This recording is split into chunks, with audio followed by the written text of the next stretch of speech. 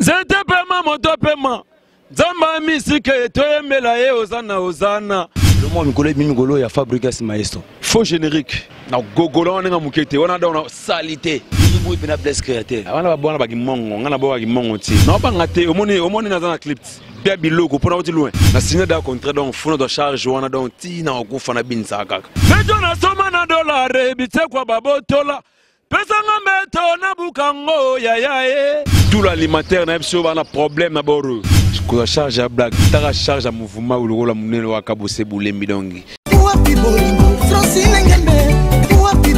www congo masolo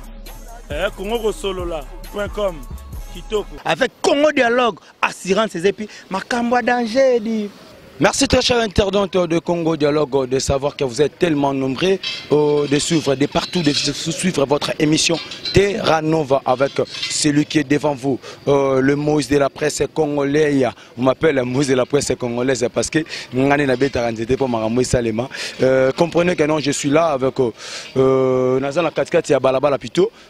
Euh, soki naye awa seke makambo ezali seke moïse akiti makambo ezali je tiens à remercier l'équipe technique qui m'ont tenu compagnie aujourd'hui euh, derrière la caméra je vois l'ingénieur fils nzabi ah ngai mon papa mama osalanga mikolo il faut ozalaka so oza te makambo euh, merci beaucoup à, à, à cordo king king ya bukele merci beaucoup na montage ya momo mira kinzi et à la coordinatrice numéro 1 de cette chaîne mama francine ngembe la patronne et la baronne la surnaturelle sur mesure merci beaucoup au fidèle internaute lelo toza wapi naza bongo na repetition ya kabose bulembu naye koswana moko ya baanimateur abinisa mboka oyo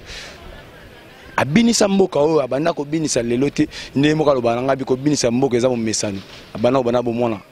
naosola na ye lelo eza bongo nani eza bongo animateur principal ya kabose bulembu eza bongo john mbembe boni ouais, pepele vraiment pepele eh, mbembe ouais. oyo ngai ko ngai mpe na personne eza mpe na yo ya solo na comprendre eza yo na santika na na mbembe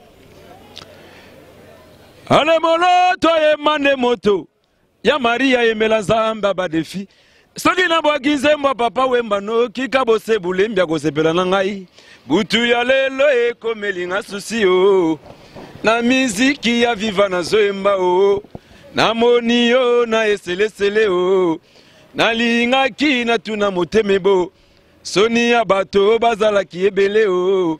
Ale moloto emande moto ya bulembi apela samo monda vatir samonter ola nga joni mbembe na bwaka mokili endimanga nakotika te kobinisa mboko oyo na banda bo mwana ola to danse merci beaucoup merci beaucoup merci beaucoup john meme tocomprendre kana obanda obinisa mboka oyo ezalaka charge charge au niveau okompa eza charge eh? nazwa da charge na maboko na nga donc ozwa charge na maboko na makambo nyonso toyebi nayebi ko nayebi rapidement fidèle internaute tokende tosola ne mbamo mambo yango eh, johnny mbembe yeyo aoloba mpe aosola na ngai toyeba nani johnny mbembe mais tomonaki baseli mokima bambango wana banzela okota baterase okota bafulu ka charge wana kamte ekotisaki yo to nini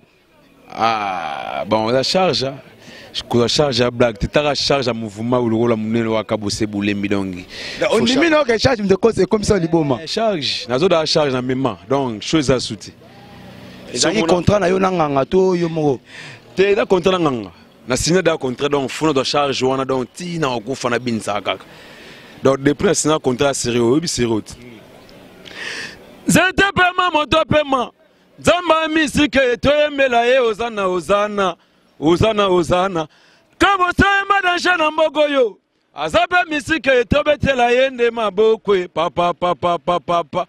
ee biloko aboma obiseroti Merci beaucoup, fidèle internaute. Vous comprenez que non, c'est Johnny Mbembe. Euh, Johnny Mbembe, bien animateur, Kabose Boulem, Babini Saramboka. Euh, Johnny Mbembe,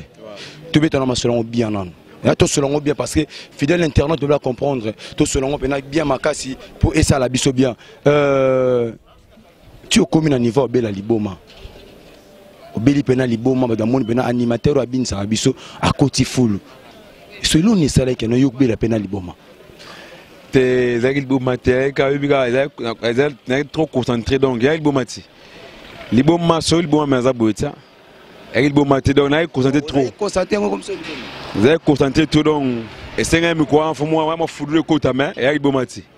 Ah wawa. Bomati. Wasire biso eza liboma te. Te liboma te, ya liboma te. Osuka oba mona ki okota ki fulu. Te eza liboma te. Wana ezali kaka ba concentration mo ezali nango na cadre mais ya liboma te. Euh, na cadre ka toujours mambo wana ko beza liboma te, oza animateur, na ko tikelo bongo te. Euh, est ce que eloko moko bobeti mikolo oyo nayoka yango buka mbeto wana buka mbetu tozwa ata mwa extrait na yango mpo esala ata bien buka mbetu papa na poto baozela buka mbetu esala ata makambo eh, tokokotisa danseur na bino moko so akose abinaka buka mbetu yango eh, bamona pena buka mbetu toyoka yo pena toleka mbeto nasomba na dolare bitsekwa babotola betanga mbeto na bukango yayae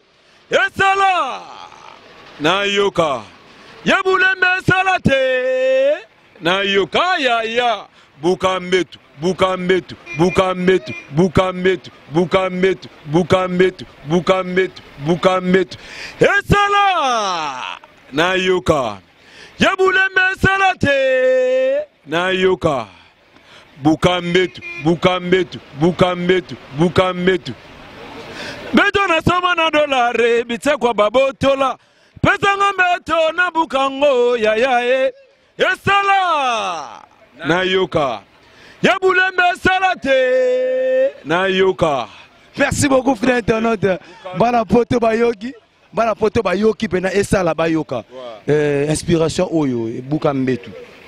buka mbetu inspiration abuka mbetu yo moko omoni teke na nzembo wana bapara bakoki yango na bana te te eza nango betise te nazoloba bien ke no mbetu nasomba na dollar binsekwa babotola donc eloko ekoti binsekwa fo asala nini fo abuka yango no biso toabambi ke totali clip ti ah. totali clip na yo ti te wana clip eza nango me maloba oyo oyoki message ntango olobi maloba na makambo oyo eke na clip eke na pobe donc mwa mobali mwa obenga mwana mwasi akotie na chambre hmm. donc mwana mwasi amonene akotie na chambre abuka mbetu abuka mbetu wana scenario wana osola na président kabose moko me oyo ngai nabwaki eza message eza keno mbeto na soma na dollar binsekwa babotona donc faut tobuka yango yokokanaobwaka betise sans betise kino esimba te eh, ngai nabwaka betise te parce que naza sans betise kino esimba te eh, ngai asalaka esimba te ko mpo ngai nalingaka betise te ngai nabwakaka nde eh, bamessage kua ngai animateur messager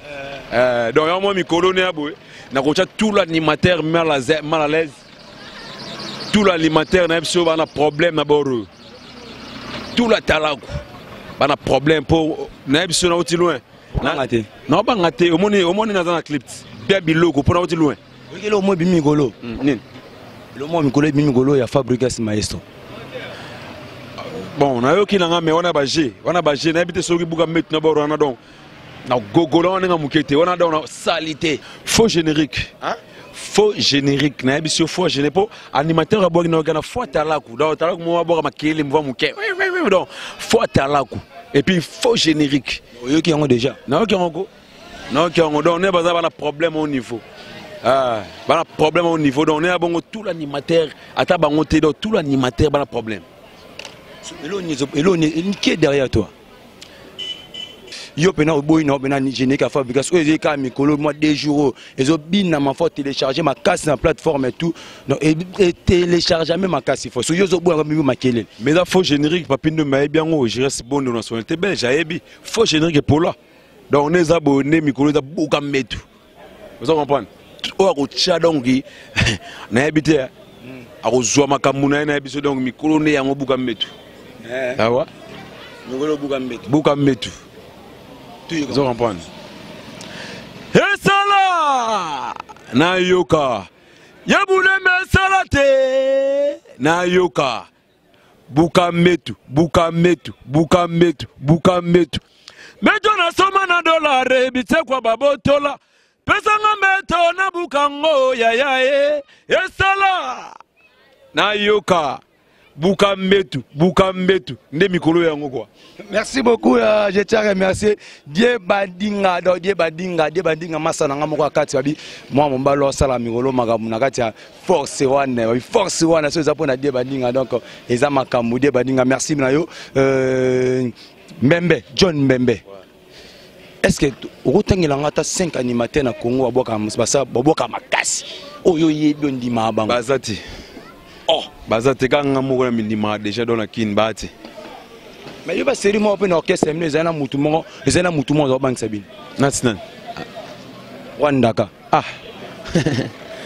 fo luka wana bon wana amasa nanga mouvement nakobeta balance te mais luka tuna ayebi joni meme fox ya mouvement charge donc euh, yuzubui mpena blesse créateur makasi oyoka babonyoma te ah, wana babwana bakimongo ngai naboya bakimongo te fo bilisa mboka moni na kini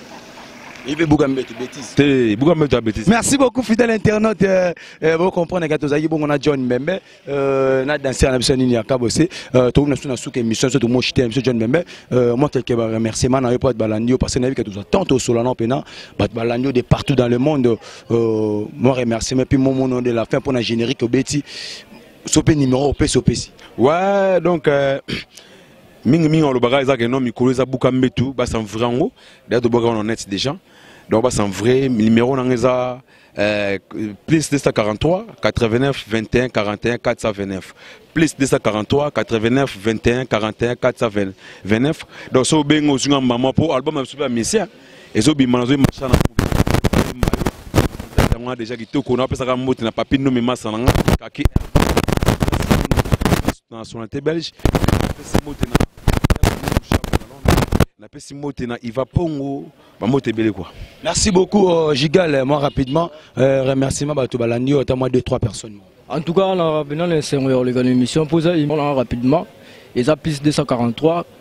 85 0900 577 donc wana so obengi